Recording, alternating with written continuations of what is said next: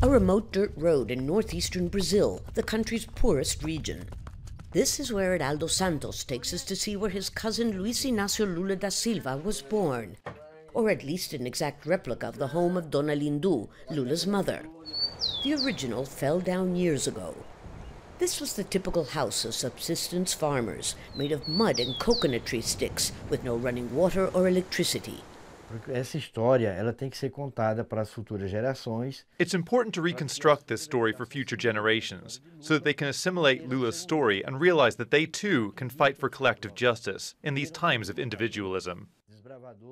This was the bedroom where the family of 10 slept, and this suitcase was used as a closet until Lula's mother, who was illiterate, decided to take all of her children to Sao Paulo, never dreaming who one of her youngest sons would eventually become. Lula began working at the age of 14 and went on to become a formidable trade union leader and founder of the Workers' Party, or PT. He had little formal education, but an abundance of charisma and negotiating skills. In 2003, Lula became Brazil's first working class president.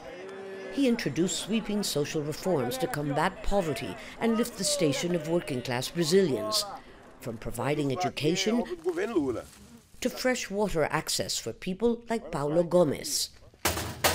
I began to love Lula long ago like a father, a hero because honestly, he embraces the cause of the poor. Massive housing projects also helped lift 33 million people from poverty during his two terms, which coincided with a boom in prices for Brazilian commodities. Brazil's economy soared. Yet all was not well. Nagging charges of corruption had long surrounded him and his political party. A multi billion dollar graft scandal exploded after he left office in 2010, just as the economy began regressing. Millions of Brazilians turned on Lula, demanding he go to jail.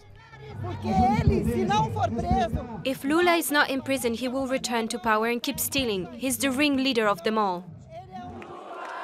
He was convicted and imprisoned on charges of money laundering and corruption, which he denied, but was released 18 months later when the Supreme Court ruled that all of Lula's convictions be annulled because of suspect procedural practices. Now, 12 years after he left office with more than 80% approval ratings, an older and perhaps more cautious Lula has returned, promising to bring back better days, especially for the poor.